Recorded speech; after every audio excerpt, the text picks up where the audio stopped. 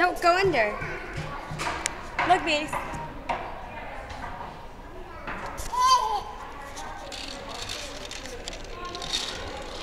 No, no, no, not in your mouth.